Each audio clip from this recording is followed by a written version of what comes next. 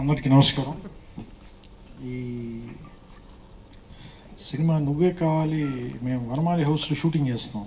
చేస్తుంటే మేము కాదంటే విజయభాస్కర్ గారు హరిమాల్ గారు అందరూ షూట్ చేస్తుంటే బయట నేను రవికిషోర్ గారు దాని పక్కన ఒక ఖాళీ ప్లేస్ ఉండేది. ఆ ఖాళీ ప్లేస్లో ఇద్దరు నడుస్తుండగా నేను ఊరికే సరదా ఖాళీగా ఉండే బదులు ఏదైనా మాట్లాడుకుందామని ఈ కథ చెప్పడం మొదలుపెట్టాను నేను.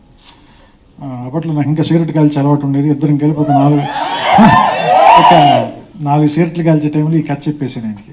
ఆయన అయిపోయిన వెంటనే బయటకు వచ్చి కారులో చెక్ బుక్ తీసి దాని మీద సైన్ చేసి ఒక అమౌంట్ వేసి ఇచ్చేసి నాకు నువ్వే కావాలి రైటర్కి ఎంత రెమ్యునరేషన్ ఇచ్చారో దాదాపు అంత రెమ్యునరేషన్ అడ్వాన్స్గా ఇచ్చేసారు నాకు ఆయన. సో దాంతో నేను బైక్ కొనుక్కున్నాను ఆ తర్వాత అది వేరే విషయం.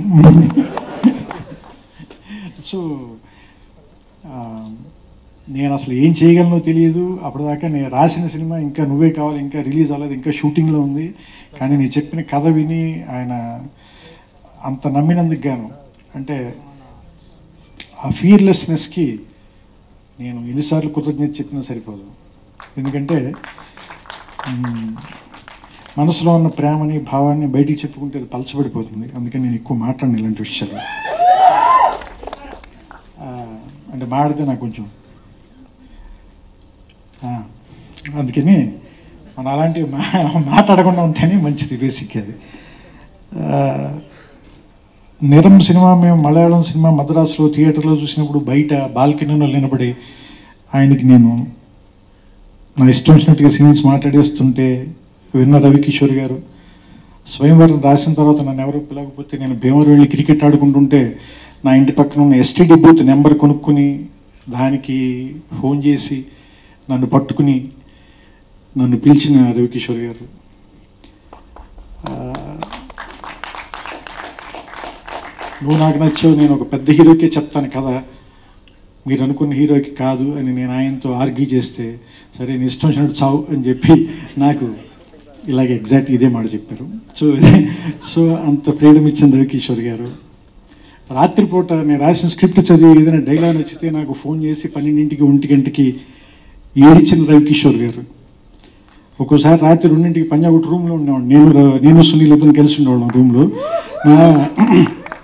మా రూమ్కి కార్ వేసుకు వచ్చేసి కింద నుంచి హార్న్ కొట్టి మమ్మల్ని కిందకి పిలిచి ఇద్దరం కలిసి మళ్ళీ రెండు సెట్లు కాల్చుకుని కౌలించుకుని ఏడిచి నన్ను ప్రేమించి ఒక ఆడదానిలాగా నాలో ఆయన ప్రేయసిని చూసుకుని అంతలాగా ఇష్టపడ్డ రవికిషోర్ గారు. ఆయనకి నేను ఎట్లా నా కృతజ్ఞతలు చెప్పాలి? ఎందుకంటే అరసికేశు కవిత్వ నివేదనం మాలిక మాలిక మాలిక అని కాళిదాస్ చెప్పాడు. రసికుడు కానివాడికి కవిత్వం నివేదించేటువంటి దరిద్రం నా నుదుటి మీద రాయొద్దు రాయొద్దు రాయొద్దు అని. నేను దేవుడికి ఎన్నిసార్లు కృతజ్ఞతలు చెప్పాలి. అలాంటి రసికుణ్ణి నేను రాసిన మాటలకి వినేటువంటి అవకాశం నాకు ఇచ్చినందుకు అలాంటి రసికుణ్ణి నాకు ప్రసాదించినందుకు. అందుకని శ్రీనగర్ కాలనీలో అపార్ట్మెంట్లో థర్డ్ ఫ్లోర్ ఫోర్త్ ఫ్లోర్ అనుకుంటాను. థర్డ్ ఫ్లోర్లో ఆయన ఆఫీస్ రూమ్ అక్కడ మేము లోపల కూర్చుని నేను స్క్రిప్ట్ రాయటం అక్కడే అందరికీ హరి అన్మోల్ గారికి కో డైరెక్టర్ సుబ్బారావు గారికి విజయ భాస్కర్ గారికి అందరికీ అక్కడ కూర్చోబెట్టి నేను రీడింగ్ ఇవ్వటం తర్వాత అక్కడే మేము స్క్రీన్ టెస్ట్లు చేయటం. అలాగే నేను రవికిషోర్ గారు ఢిల్లీకి వెళ్ళి శ్రీయాకి శ్రీయా వాళ్ళ మదర్ని కలిసి అక్కడ వాళ్ళ కథ చెప్పడానికి ట్రై చేయడం అంటే ఇప్పటికీ ఇంకా అన్నీ నా కళ్ళ ముందు కాకపోతే నేను ఎక్కువ బయటికి చెప్పను అవన్నీ. అంటే నాకు తెలియదు అవన్నీ. అండ్ ప్రకాష్ రాజ్ అందరూ ఎందుకు తెలియదు ప్రకాష్ రాజ్ అంటే చాలా భయపడతారు చాలా డిఫికల్ట్ వర్క్ విత్ అది ఇది అంటారు కానీ నాకు ఎందుకు తెలియదు. మొదటి నుంచి ప్రకాష్ రాజ్ గారు ఎక్కువ నన్ను చూసి భయపడుతూ ఉండేవాడు. వీడు వచ్చినప్పుడు ఏదో ఒకటి పట్టుకుపోతాడు మా ఇంట్లో ఇంట్లోంచి ఎందుకంటే వాళ్ళ ఇంటికి అర్ధరాత్రి పన్నెండింటికి వెళ్ళి తలుపులు కొట్టి ఎప్పుడు నేను ఇంకా రైటర్ కాకముందే అర్ధరాత్రి పదకొండింటికి వాళ్ళ ఇంటికి తలుపులు కొట్టి వాళ్ళ ఇంట్లో ఏదైనా ఉందా తినడానికి అని అడిగి తినేటాలు తర్వాత వాళ్ళ ఇంట్లోంచి మందు బాటిల్స్ పట్టుకుపోవటం. ఆయన చేతి వాచిలు లాగేసుకోవటం ఇంకొకటి కాదు. ఎన్నో దౌర్జన్యాలు చేసాం మమ్మల్ని. ఆయన పాపం చాలా భరించి. నన్ను సునీల్ని ఆయన విపరీతంగా విపరీతంగా భరించాడు మా ఇద్దరిని. చాలా అంటే మా ఇగ్నోరెన్స్ అనుకోవాలో ఏదో చిన్న చిన్న ఊళ్ళ నుంచి వచ్చిన దాని బహుశా ఆయన ఎంజాయ్ చేసి ఉంటాడు బహుశా. సర్లే వీళ్ళు ఏదో తిరుగుతున్నారు కదా ఏదో ఒకటి అవుతారులే అని. సో అందుకని నాకు ఆయనతో పనిచేయటం అంటే అసలు ఎప్పుడు నాకు నాకు అందరూ విచిత్రంగా ఉంటుంది. ఎందుకు అందరూ ఇంత మా ఎందుకు అసలు ఈయన బ్యాన్ చేశారనేది నాకు అర్థం కాదు. యాక్చువల్లీ సో మే మీ ఇద్దరు మామూలుగా తిట్టుకున్నా ఏదైనా ఒక సీన్ గురించి ఆర్గ్యూ చేసుకున్నా అవి కూడా తక్కువే. యాక్చువల్గా లేవు ఎప్పుడు. నెవర్ మీ ఇద్దరు పెద్ద. అసలు గొడవ పడిన సందర్భాలే లేవు. అండ్ నాకు ఎప్పటికీ గుర్తు ఊటీలో సాయంత్రం ఫైవ్ ఓ క్లాక్కి ప్యాకప్ అయిపోయింది అనుకుంటే ఆ రోజు తర్వాత సిక్స్ తర్వాత ఎక్స్టెండ్ చేస్తే అక్కడ ఒక వుడిన్ ప్లేస్ ఉంటుంది. అక్కడ శంకర్ మాస్టర్ స్వామి ఒక స్టెప్ కంపోజ్ చేశాడు. ఒక బ్యాలే లాగా ఉంటుంది. చాలా బాగా చేసింది ఈ అమ్మాయి. నాకు ఆ మిడ్ షాట్ గుర్తుంది ఇప్పటికీ. నాకు అది చాలా బాగుంది. అంటే అది ఒక హై వచ్చింది. అంటే నాకు అనిపిస్తుంది ఏంటంటే తర్వాత తర్వాత ప్రాసెస్సే ఎంజాయ్మెంట్. ఎందుకంటే సినిమా హిట్ అని మీరు చెప్పారు. ఒక ఫోన్ కాల్. ఆ తర్వాత ఇంకా అంతకుమించి ఏం ఎంజాయ్ చేస్తాం? దాని గురించి అంతకుమించి ఇంకేం మాట్లాడతాం? ఎంతమందితో మాట్లాడతాం? బాగుందని thank you thank you thank you. అంతే అంతకుమించి మాట్లాడడానికి ఏం ఉండదు. బట్ ఆ ఆ షాట్ చేసినప్పుడు నాకు వచ్చిన హై నాకు ఎప్పటికీ గుర్తుంది. అలాగే నేను తరుణ్ తోటి ఒక ఆఫీస్లో ఎక్కడో షూట్ చేసాం ఒక కిక్ కొట్టించా ఒక షాట్. అప్పుడు ఫైట్ మాస్టర్ లేడు. నేను హరి అన్మోల్ గారు మాత్రమే ఉన్నాం. సడన్గా నేను అంటే నాలో కొంచెం వైలెన్స్ ఉందని నాకు అప్పుడే తెలిసింది. ఒక ఫైట్ తర్వాత నేను అతడికి చేసిన తర్వాత నాకు ఎవరు వెంకటేష్ గారు చెప్పారు నీళ్ళు ఇంత వైలెన్స్ ఉందని నాకు తెలియదు నువ్వు చూస్తేనేమో సాఫ్ట్గా చెప్తా చాలా వైలెంట్గా తీసే సినిమా సో ఆ ఫస్ట్ కిక్ కొట్టింది నాకు చాలా హై వచ్చింది. అది బాధీసని అనిపించింది. సో ఆ ప్రాసెస్ అంత ఇప్పటికీ నా మైండ్లో ఇంకా ఫ్రెష్గా ఉంది. నేను అంతా చెప్పలేకపోవచ్చు. కానీ నాకు అంటే నా- నాలో ఉన్న రచయితని కానీ నాలో ఉన్న దర్శకుని కానీ నాకంటే ఎక్కువగా గుర్తించిన ఇష్టపడ్డ భయం లేని వ్యక్తిగా నేను రవికిషోర్ గారిని నేను ఎప్పుడు నేను నేను చాలా ప్రేమిస్తాను. నేను చాలా గౌరవిస్తాను అంటే రవికిషోర్ గారు అనే తప్ప రవికిషోర్ అని కూడా నాకు అండం రాదు. అది అంటే అది ఏముంటుందని బై డిఫాల్ట్ లాగా. సో ఆయన అంటే నాకు అంత ఇష్టం. అంటే నాకు అన్నలాగా. కాబట్టి నేను చెప్పే కదా మనకి భీమవరం కదా పెద్దగా చెప్పడం రాదు ఇలాంటివన్నీ.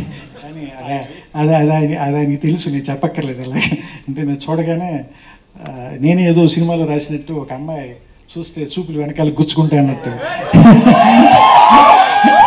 సో నా నా నా ప్రేమ ఆయనకి గుచ్చుకుంటుంది. ఇంకెవరి దగ్గర పని చేయండి?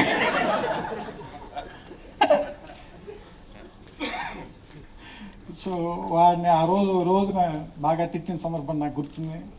ఒరే క్షమించరా ఇంకెందుకంటే ఏం చేస్తాను ఎందుకంటే నేను చెప్తే బాగోదు నీకు నువ్వు చెప్తే బాగోదు గడ్డాలు కూడా తెల్లబడిపోయినారు వదిలేసి ఎన్నో చేశాను ఇలాంటి వాటిలో ఇది కూడా ఒకటి మర్చిపోను మంచి సో సునీల్ సునీల్ మామూలుగా మేము రెగ్యులర్గా ఎలాగో కలుస్తూనే ఉంటాం. ఇప్పుడు వాడు ఇక్కడ ఉంటే ఇంకా బాగుండేది అంటే మన మధ్యలోనే ఉన్నాడు ఇంకా డ్యూటీలో ఉన్నాడు. అంటే ఏం లేదు ఎక్కువ ఎమోషనల్ అవ్వకుండా ఉండడానికి సరదాగా మాట్లాడే ప్రయత్నం చేస్తున్నాను అన్నిటికంటే నాకు బాగా నాకు కానీ రవికిషోర్ గారి అంటే రవికిషోర్ గారికి లైక్ సీతారాముడు అని ఆయన రవి అని ఆయన ఇద్దరు అరుచుకుని తిట్టుకుని వాళ్ళిద్దరి మధ్యనంత లవ్ అండ్ హేట్ రిలేషన్షిప్ నేను ప్రపంచంలో ఏ బాయ్ ఫ్రెండ్ గర్ల్ ఫ్రెండ్ దగ్గర కూడా చూడలేదు సీతారామ శాస్త్రి గారు అండ్ రవికిషోర్ గారు వాళ్ళ ఇంకా మన ప్రపంచంలో ఇంకెక్కడ చూడడం వాళ్ళిద్దరు మధ్య. వాళ్ళు ఆయన పేపర్లు ఇసిరి వేయటాలు పెన్నులు ఇసిరి నడుచుకెళ్ళిపోవటాలు ఈయన కుర్చీలు తన్ని వేయటాలు ఆ వైలెన్స్ అంతటికి నేను ప్రత్యక్ష సాక్షిని కొన్నిసార్లు ప్రకాష్ రాజు గారు కూడా. బట్ ప్రకాష్ రాజు గారు వచ్చినప్పుడు ఎదురు కొంచెం డిగ్నిఫైడ్గా బిహేవ్ చేస్తారు. అంటే ఆయన ముందు బయట పడిపోకూడదని అంటే ఈయనేదో వీళ్ళిద్దరు పెద్ద మనుషులైనా వాళ్ళిద్దరు పెద్ద మనుషులని ప్రకాష్ రాజు గారు ఒక భ్రమలో ఉండాలనే ఉద్దేశంతో ఉండేవారు. ఆయన దాటిన వెంటనే ఇంకిద్దరు తిట్టుకోవటాలు అరుచుకోవటాలు అన్నీ సహజంగా నడిచేటువంటి వాటికి నేనే సాక్షిని చాలా వాటి తర్వాత కూడా స్త్రీ మళ్ళీ ఇంకా మళ్ళీ ఆ పిల్లాడిని ఎత్తుకుని వాడిని ప్రేమించడం అంటే అంత పెయిన్ వాడిని అందుకనే అమ్మలు గొప్పళ్ళు అంటారు సో ఈ ఈ సినిమాకి సంబంధించినంత వరకు అమ్మ రవికిషోర్ గారు. అందుకని ఆయన గొప్పతనానికి నమస్కారం. Thank you thank you Trivikram గారు